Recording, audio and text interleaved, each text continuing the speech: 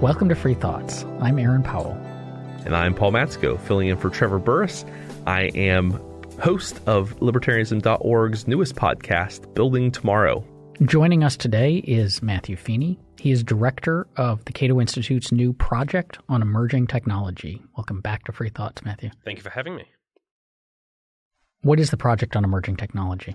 Yeah, the project on emerging technologies is Cato's uh, relatively new uh, new endeavor. So it's uh, I'm trying to count now.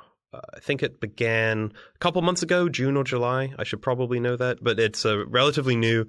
Uh, I'm running it. It's a project of one at the moment, but the the goal of the project is to uh, highlight the difficult policy areas that are raised by what we're calling emerging technologies. Now, this is always a, a difficult thing to define, right? And of course, uh, emerging tech is not just changing technologies, but new things arriving on the scene.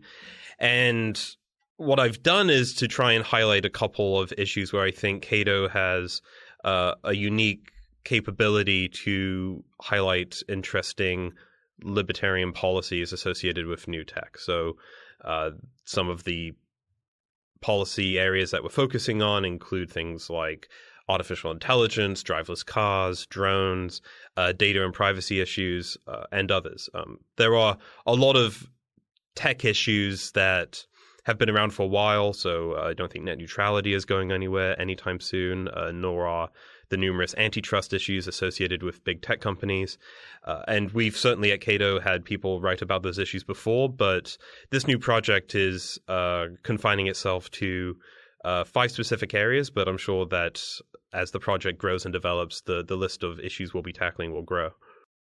How did you choose those five in particular?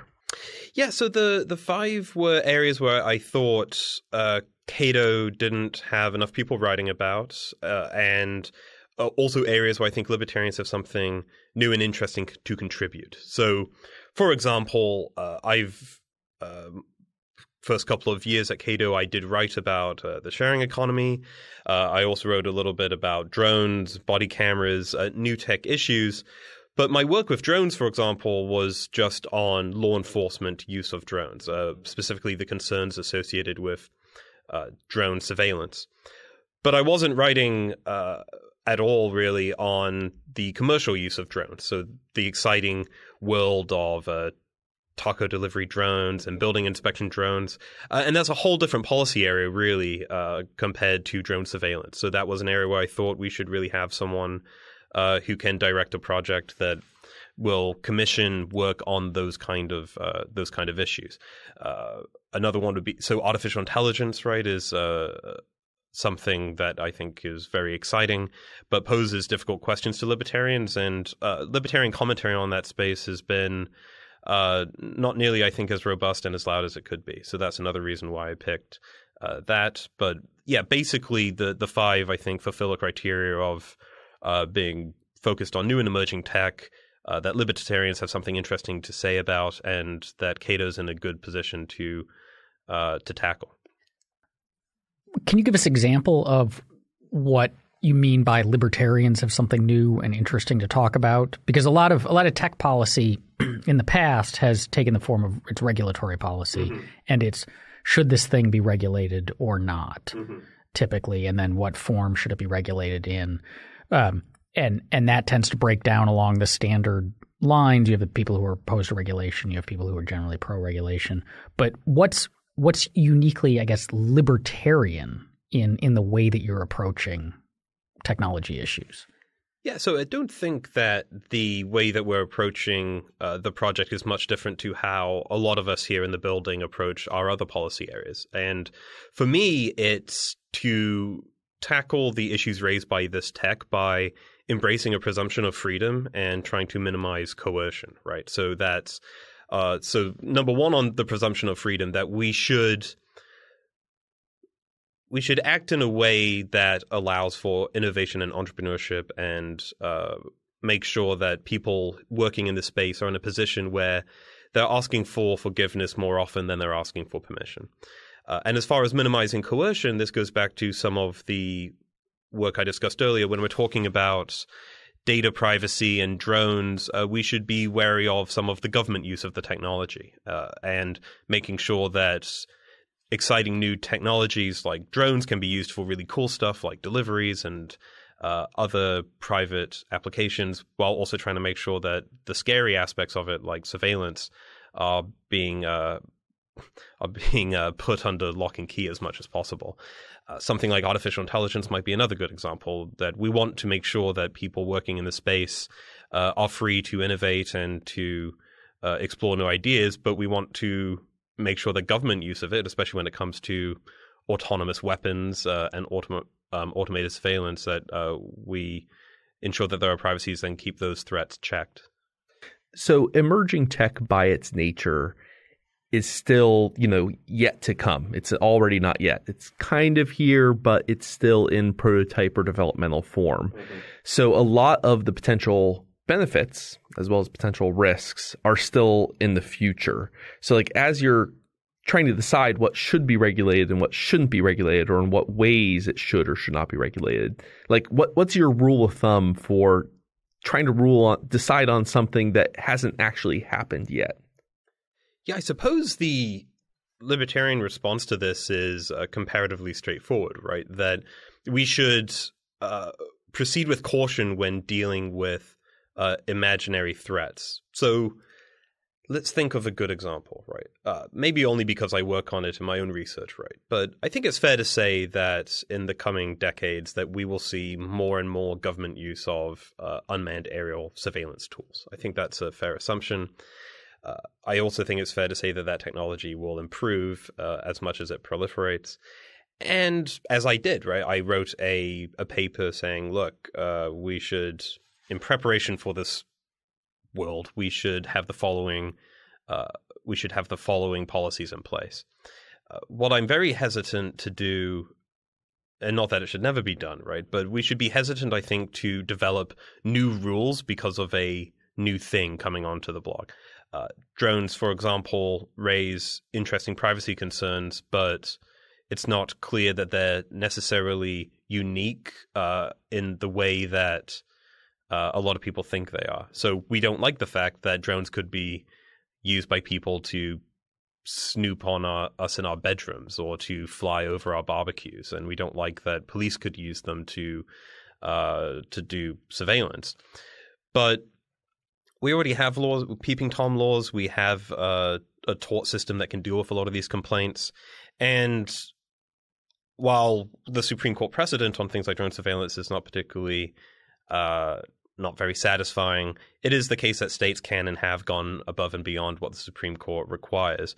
So going forward, I think we should be hesitant to think of, well, we need a driverless car policy. We're going to write down, uh, we need a drone policy. We should think about the kind of threats that uh, come from these these fields, but uh, resist the temptation to write a lot of uh, regulation in anticipation for the proliferation of this technology.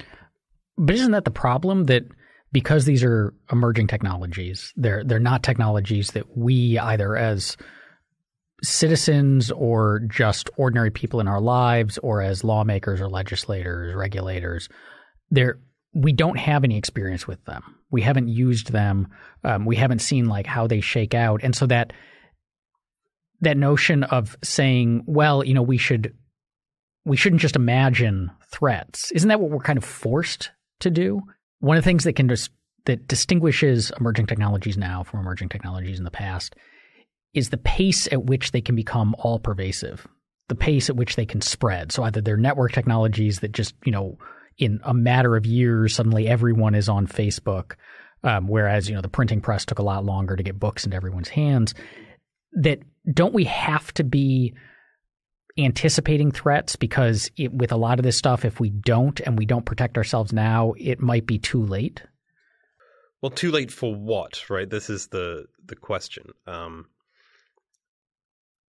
I think history has enough examples of people uh, exaggerating threats uh, that we can learn from. So, uh, one of my favorite examples of this, right, is the uh, the British 1865 Locomotive Act, which required uh, a vehicle that not pulled by an animal, uh, so a, a steam powered locomotive, uh, if it was on a road and towing something, it was legally required that you would have a man 60 60 yards ahead of it with a red flag, right? Because people were anticipating certain threats, right? That these these new uh, technologies are going to cause accidents, and so what we need is it's obvious, right? We need a man running ahead of these things with a red flag to to alert people that there's very dangerous things coming across.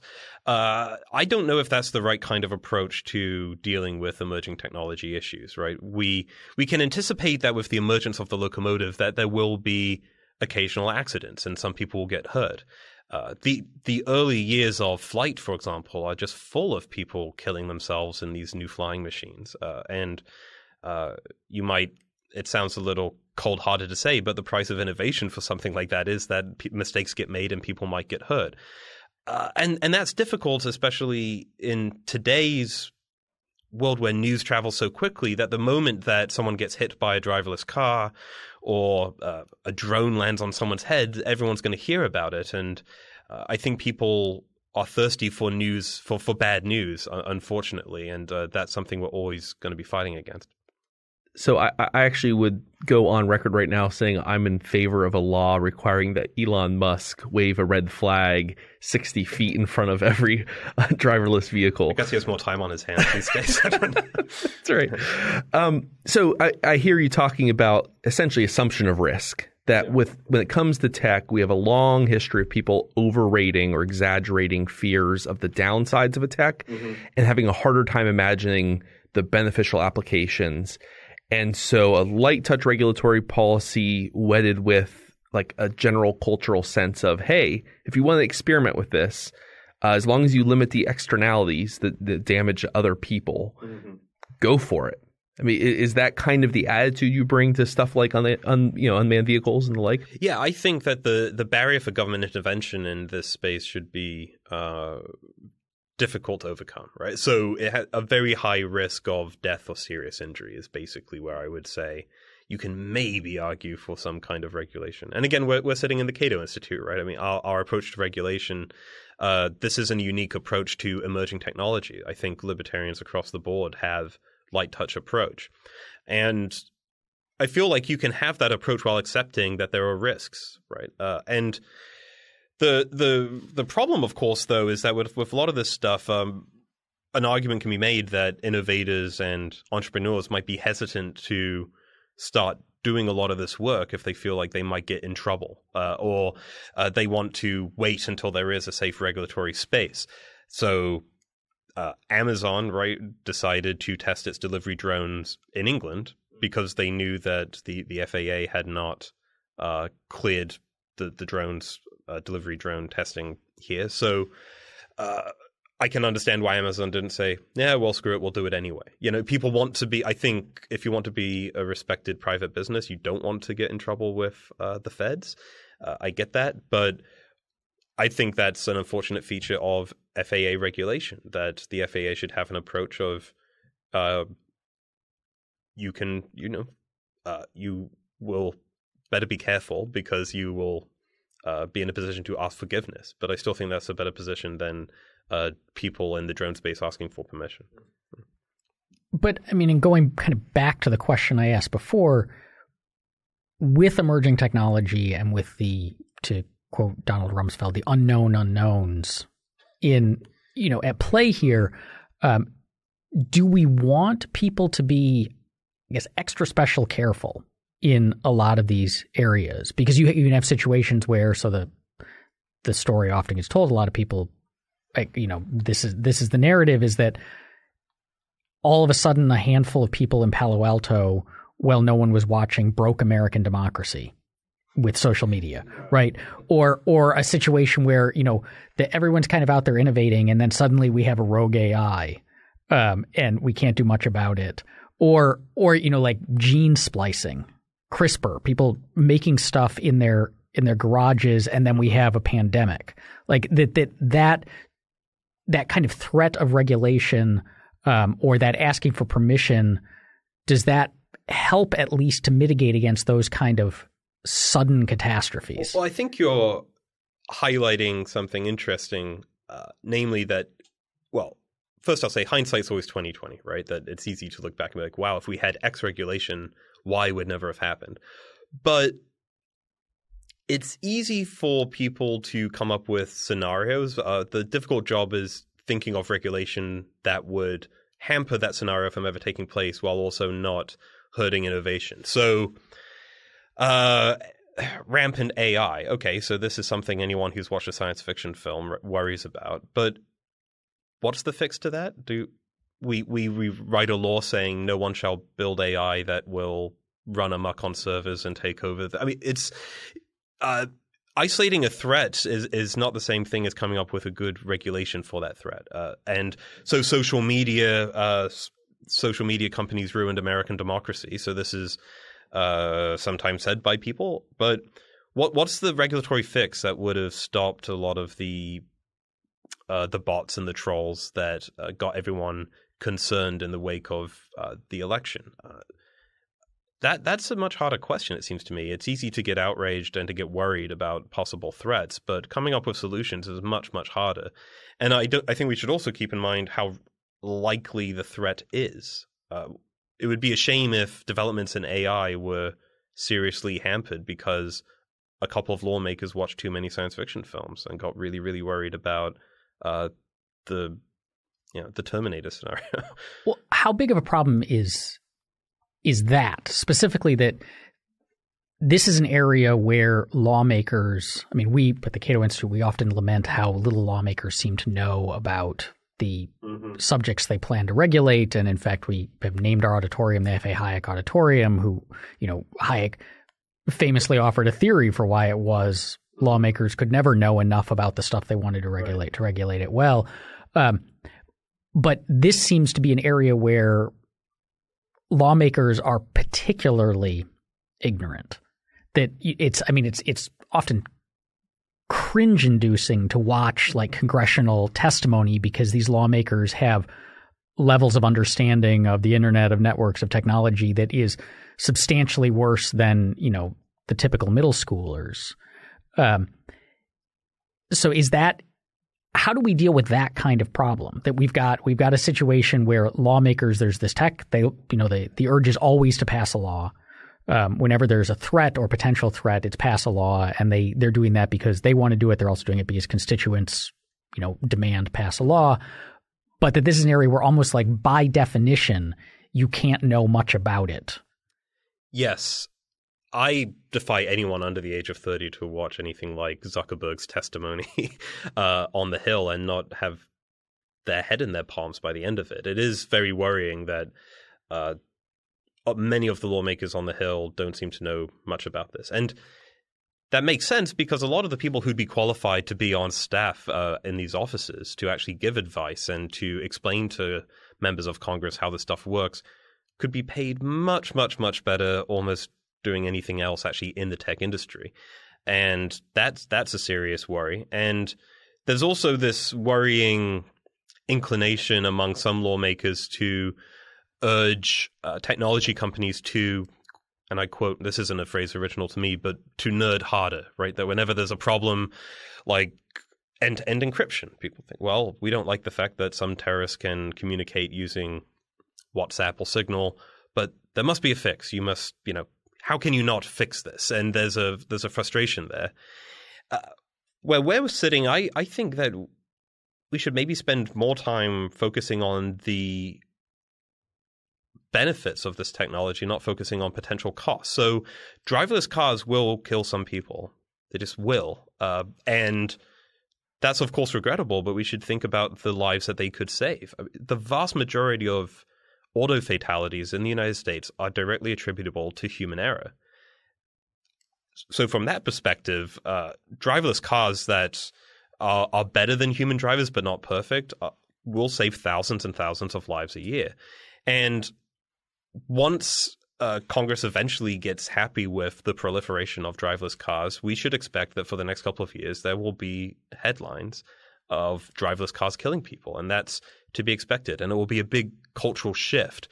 Uh, so emphasizing the benefits rather than the costs, I think, uh, is is worthwhile. Uh, but of course, that's easy for me to say because I won't be the one sponsoring the bill that allows these things to run rampant, and then um, who are they going to wag the finger at when the bad things do happen? But uh, like I, I, alluded to earlier, uh, good news rarely makes headlines, uh, and it's also slow moving. Right, it will take a long time for the benefits of driverless cars to be realized in the data, uh, but the accidents and the deaths will be reported instantly.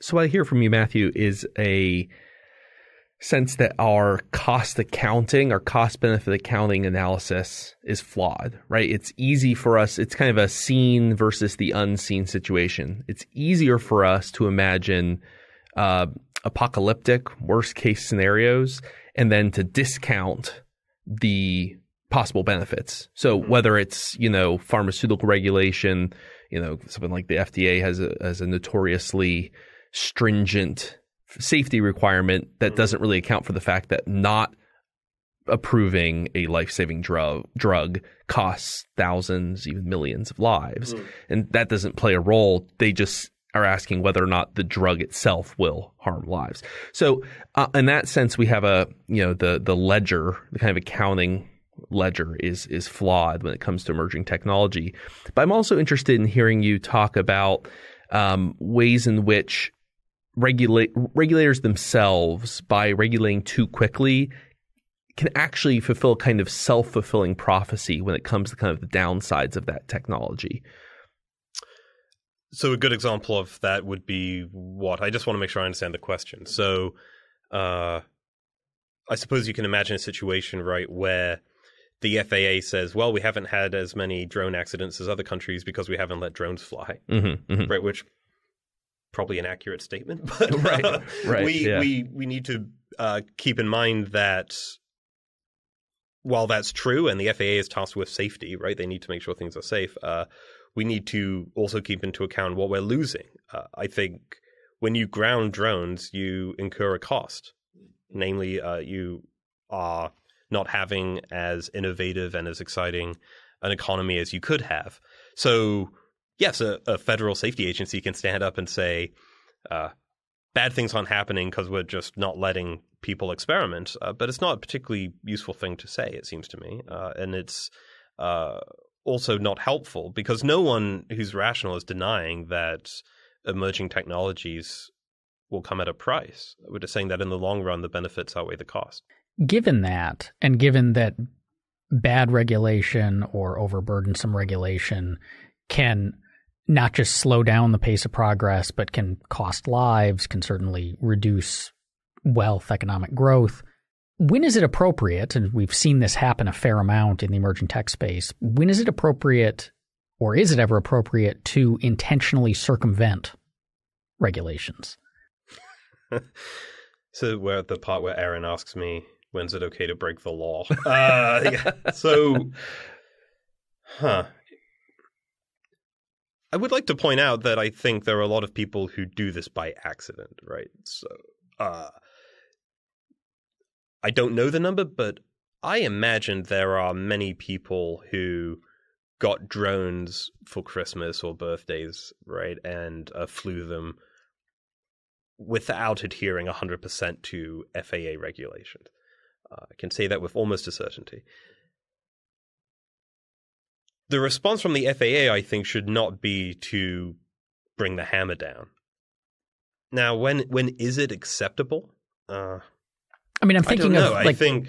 Sorry, go ahead. The classic example being like Uber, which Uber has arguably changed the world in and frequently in a positive way. They granted they have their problems as a company, but a lot of that came with them basically ignoring local regulations. Okay. Uh, in that case, I would argue that at least in some of the jurisdictions, Uber could have made the argument that, well, we looked at the uh, taxi regulations and we decided that we didn't fit the definition of taxi, so off we went. Uh, that's a much easier argument, it seems to me, than a drone operator uh, saying that they're not a uh, an aircraft under FAA definitions. Uber, I think, was doing something very interesting, which was providing uh, an obvious providing obvious competition to an incumbent in- industry without being actually a very different thing. Uh, to to customers behind the scenes, I think a lot of people found Uber and taxis to be uh, very similar, but actually they're very different kind of businesses, and it's a very different kind of technology. Uh, I take your point, and of course, Uber's Uber's opponents would oftentimes portray uh, portray Uber as a uh, as a lawless uh, invader. I think, at least in some jurisdictions, Uber could make the argument that actually, no, we just feel like we didn't fit into that uh, regulatory definition, and Uber does fit into this very, or at least when it began, fit into a very awkward regulatory gray area. Uh, so, in a situation where you've taken a look at existing regulations and you think that you don't actually uh, run afoul of any of them, I don't see why people shouldn't feel free to um, get into an area and innovate. Uh, Airbnb might be another example where you, okay, well, I took a look at local laws and I figured that I wasn't a hotel. Seems to be a reasonable thing for people to assume, but uh, I won't say this is without risk. You know, I wouldn't advise anyone in a private company to deliberately break the law and to um, hope that you have good lawyers on hand. I don't know if that's the the best approach because uh, local lawmakers don't like uh, don't like that kind of confrontation for sure. I mean, I suppose there's a some of that question comes down to one's own ethic, right? I mean, most people yeah, would imagine yeah. an, an ethical obligation to break the law when there is some kind of clear um, uh, cost to life um, that comes from following the law. I mean, so you know, civil disobedience writ large. Mm-hmm. You know, no one, no one. It, well, some people did hold him responsible. But when you know, Martin Luther King Jr. or another civil rights activist blocks the highway for a march on on on Selma or Birmingham or, or whatnot, right? Like it's it, the idea is is that laws are it's okay to circumvent them when there's a clear ethical obligation um, to do so. That the law is less important than than like ethical systems, but sure, that yeah. that gets complicated really quickly depending on.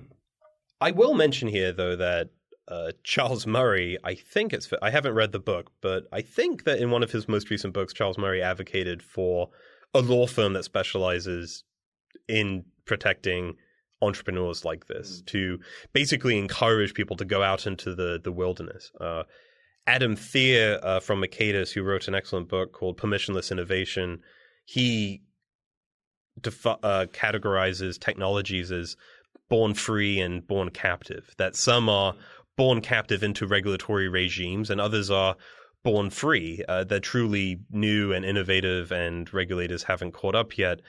But if you're born free, as uh, Adam might call them, I think you better be ready for certain fights. Uh, and the, Charles Murray's recommendation was, yeah, we should just basically have law, a law firm that specializes in helping entrepreneurs uh, with these kind of fights. Uh, from the regulator's point of view, I think they should perhaps just choose their fights more carefully uh, and and not scare away people. But uh, that's not going to happen anytime soon. And we, you know, the costs that we've been talking about, like uh, like deaths and injuries, are I think easier to discuss. But the problem with a lot of technology or emerging technology discussions are you have these more difficult to pin down complaints about the impact on society and what's it doing to our children? And isn't this making them, us more isolated? Think about the citizenry. All, all that sort of stuff is uh, thank you tipper gore. Well right and it's it's it's interesting because it, this isn't a new kind of complaint right? Uh, but nonetheless uh, remains sticky. Uh, i wanted to to briefly uh, read out a, a, a, quote I found from 1992. There was uh, Neil Postman, uh, Postman, sorry, wrote a book called um, Technopoly: The Surrender of Culture to Technology, and he was on C-SPAN in 1992, and he'd previously complained about uh, television, right? And he was he was on, and he said uh, when I started to think about that issue, television, I realized that you don't get an accurate handle on what we Americans were all about by focusing on one medium, that you had to see television as part of a kind of a system of techniques and technologies that are giving the shape to our culture. For instance, if one wants to think about what has happened to public life in America, one has to think, of course, first about television, but also about CDs, and also about faxes and telephones and all of the machinery that takes people out of public arenas and puts them fixed in their homes so that we have a kind of privatization of American life. Uh, this is a really interesting kind of complaint, but he goes on to describe a future that we're kind of in now, where he says, one hears people say with some considerable enthusiasm that in the future, putting television, computers, and the telephone together, people will be able to shop at home, vote at home, express political preferences in many ways at home, so that they never have to go out in the street at all, and never have to meet their fellow citizens in any context because we've had this ensemble of technologies that keep us private away from citizens. And I hear complaints like this quite regularly. I mean, that's from 1992, but there is still this very persistent uh, worry that emerging tech will make us in, uh, make us bad citizens, make us isolated. Uh, AI is exciting, but what what do you will will our children say please and thank you to the robots? Will the robots become our friends or um, our sex partners? You know, this is isn't all this stuff making us kind of isolated and uh, this isn't a new concern. Uh, frustrating, and it's not going away. So we have been talking largely about policymaking, policymakers, regulators, people who are in the in the the policy world. Mm-hmm. But how much of that is really just downstream of culture? Mm-hmm. Such that when we're talking, when we're we're dealing with these issues of emerging technology, that where the real action is happening is in the culture, is in the cultural acceptance of it, and so to to some extent, focusing on the on strictly the policy is kind of missing where much of the influence is or will be. I certainly do think that it's important to communicate to the public about this because, uh, like you mentioned, some of these policy concerns are downstream from what uh, from the public. And uh, in preparation for the podcast, I was finding articles from you know 1859 editorials in the New York Times complaining about the telegraph, and uh, a 1913 New York Times article complaining about uh, the telephone and how it's incur- bad manners. All this stuff uh, isn't new, but I think when we're we're sitting in a think tank, we should be ready to communicate with the public uh, in addition to regulators and lawmakers. If if we have a optimistic, uh, forward-thinking public, then you hope that that will translate somehow and translate somehow to uh, lawmakers. But you know, lawmakers are made up of, of human beings, and uh, the public are human beings, and they have a, a pessimism bias. Uh, and I think, though, when you focus again on on benefits, that uh, maybe more parents would be happy if driverless cars could take their kids uh, to baseball practice, and it would be better for people if their elderly parents have uh, appliances in homes that can monitor if they've fallen down or if they have had a medical emergency. Uh, it would be good if we uh, were able to travel more safely, to have our homes know more about us. It would be you know nice to to come home and to have the home, you know, set at the right temperature and playing the right kind of music. Uh, making sure that people realize the benefits of a lot of this stuff is is I certainly think part of part of the mission. Uh, I, my only audience is not lawmakers, that's for sure. All of that, the home that knows a lot about you, the all these things that can predict stuff about you, keep track of things about you. There's a lot of data there. Mm-hmm. There's a lot of data gathering. A lot of it depends on devices that can surveil us mm-hmm. in in one way or another. And we as libertarians, we as Cato Institute scholars, we spend a lot of time talking about the problems of government having access mm-hmm. to data and government surveillance programs. But are we concerned? Should we be concerned about the level of pervasive private surveillance that that rosy future you just sketched out demands? I think we should be worried. You can uh, listen and read a lot of Cato material on the concerns that we have about government access to data, and I certainly don't want to sound blasé about that. Uh, so, I'm, my primary worry is the government, mostly because, as creepy as a lot of this might be when it comes to Amazon and Google, uh, Amazon and Google can't arrest me or put me in a cage, right? I think that is uh, a big difference. People might be a little creeped out by these shopping algorithms. Uh, they might be a little freaked out by the fact that these companies do know a lot about us, but I want the heavy lifting there to be on government access to that data. Uh, you you buy a lot of these appliances. There's a certain degree of you you assume that uh, they will be collecting information about you. But I'm not as worried about Amazon as I am the government for the reasons I just outlined. And I don't think Amazon has an interest in creeping out its customers too much. Should we be worried, though, about companies like Amazon gathering all this data, centralizing all this data, and then that data suddenly becoming either through the passage of legislation or through subpoenas or warrants or through government hacking accessible to the government. Yeah, there's a degree of trust you have in these uh, big companies. They they need to do a good job at at being custodians of data. Uh, I don't want to speak to the I don't know a lot about uh, Amazon's actual security, just using them as an example. Uh, they have a very strong profit seeking incentive to make sure that their customers' privacy is, is not violated. There's not much, though, that they can do, right? When the government comes to them with a valid court order, they, they you know, uh, are put in a tough spot there.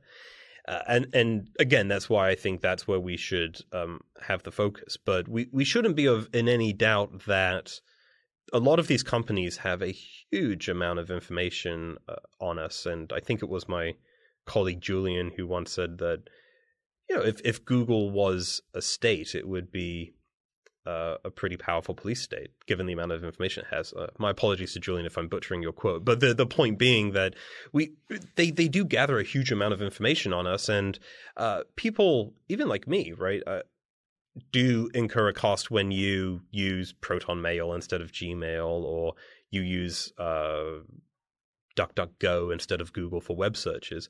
Uh, and that cost is that, you know, Google now knows a little less about you and can't provide you with the degree of service that uh, most people have. But uh, that's fine by me. There's still choice. Google's not a monopoly when it comes to this sort of stuff. So uh, and people value their privacy subjectively, uh, and maybe I value it as slightly higher than the average person. But uh, I have no problem with people using Google products to make their lives better. Uh, I do worry about government access to that data to to conduct investigations. Uh, it, it, feels like forever ago now, but it's only a few years ago. Folks were um, there was buzz about Mark Zuckerberg running for president yeah, it's uh, that blend of uh, a major, you know, a major tech company mm-hmm. with the power of the state. While it's you know unlikely now, um, it's not outside the realm of possibility. Even if it's not as literal as the head of one being the head of the other. Um, something to go back to to uh, something you mentioned before, Matthew. You teased a bit about uh, how in Great Britain, uh, I think it was regulatory policy towards unmanned aerial vehicles was more favorable. So it pushed, you know, Amazon to conduct uh, tests overseas. So to broaden that out, how would you say, like on the net, international uh, regulatory, the international regulatory landscape, how it compares to the United States? Like, where is the U.S. rank when it comes to relative freedom and regulation of emerging technology? I think it's difficult to say for the following reason that uh, saying technology policy is a bit like saying economic policy, right? It's a it's a huge range of of things. Uh, so let's think of the plus side first. So the United States is still a global leader when it comes to tech innovation. Uh, this country is home to some of the best known, largest, and most interesting tech companies. Uh, GlobalData uh, recently produced a list of the most the 25 most valuable tech companies in the world. 15 are in North America, seven in the Asia Pacific, only three are in Europe. Uh, and that I think is not an accident. Uh, Europe is, uh, as you alluded, is slightly, I would say, ahead of the United States when it comes to drone policy, but you know, they slapped Google with a, a huge, I think it was $5 billion fine on antitrust. There's uh, so it depends on the technology you're talking about. They're certainly ahead when it comes to, I would say, drone policy, but uh, when you're leveling billion fines worth billions of dollars on Google, right? It's not a great look, and uh, so examine the policy, the the technology specific policy. I, I, wouldn't want to go to a, a big generalization. I would say though that there's probably a reason that the United States is still today a, a massive uh, hub and funder innovator when it comes to technology. Does competition work in that area? So do, do you see is there evidence that countries look over at other countries that have better tech policy and so are getting better, bigger country companies, more innovative products, mm-hmm. um, and say, well, I it's probably good for me to loosen things up a bit too. I don't know. I'd have to look at data. I think the problem is for a lot of these countries is, is that a lot of the uh, Silicon Valley is still a massive talent suck uh, for a lot of these a lot of these countries.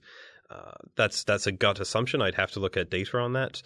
Uh, competition, of course, is is an interesting point when you're talking about big companies like Google, Apple, Amazon, and Facebook, because a lot of those companies are big enough that they can buy interesting smaller companies. So, uh, what would be a good example? YouTube, Instagram, WhatsApp. These are all companies that were bought by uh, by much bigger companies. And that's not necessarily a bad thing. Uh, and it's not necessarily something that we should complain about. But for the foreseeable future, I imagine that Amazon, Google, Facebook, and Apple are going to be on the lookout for interesting new companies to buy. Uh, one, because they view them as competition down the road, but two, they also feel that they can do interesting things with those companies. And uh, that's not a that's not a bad thing necessarily if you are building something that competes with Amazon and you're presented with a life-changing amount of money there will be some people who say no thanks I'll keep plugging away at what I'm doing I believe it's the case I'm not a historian when it comes to Facebook but I believe Facebook faced a buyout option at a certain point right didn't someone want to buy Facebook Oh, I could be right. making that yeah. up. But my point is that there are very large successful companies today that uh, said no to to buy out. Uh, Netflix options. is a famous. Yeah, example. that might be. Yeah, a, Blockbuster yeah. had the offer on the table for mm-hmm. you know some minuscule fraction of what Netflix is valued at. Right, and keep in mind that this this competition question is something we're going to hear more of as long as Trump is the president, because there's a perceived uh, anti-conservative bias in Silicon Valley that people think is uh, actually affecting the product. So. I think it's fair to perceive that most people who work in these big tech companies are probably to the left of the average American. I think that's fair to say. that I'm not convinced that that personal bias among employees has had a direct impact on the products. And you've had, you're in this weird situation where self-professed conservatives are, are now saying, well, they're too big and uh, we should talk about antitrust. When we're thinking about the big four, uh, Google, Amazon, Facebook, and Apple, I'm not convinced that these companies are monopolies in the true sense. And uh, I think it would be a mistake to uh, bring antitrust uh, action against them.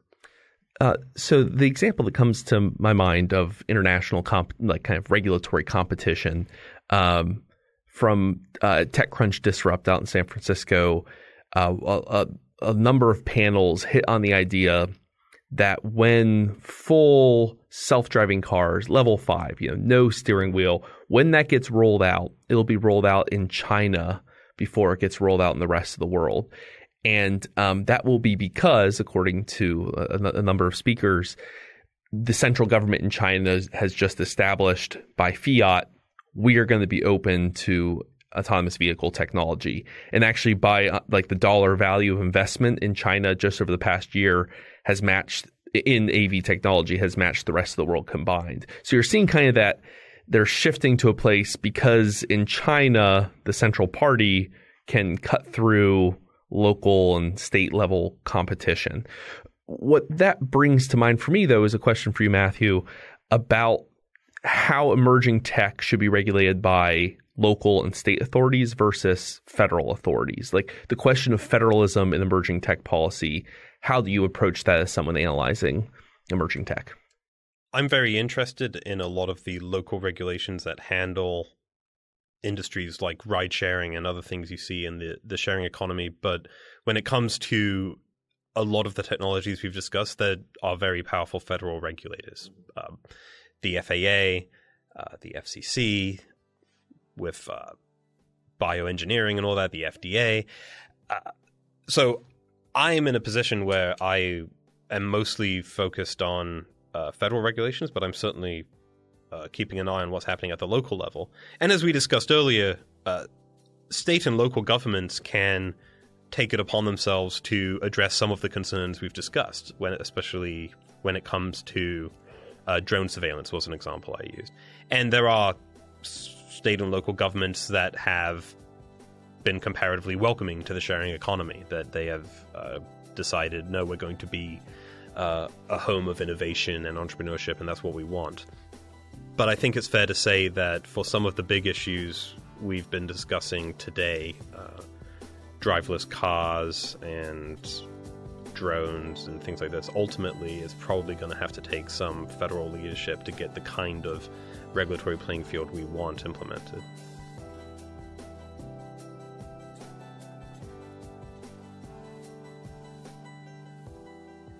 Thanks for listening. Free Thoughts is produced by Tess Terrible. If you enjoyed today's show, please rate and review us on iTunes. And if you'd like to learn more about libertarianism, find us on the web at www.libertarianism.org.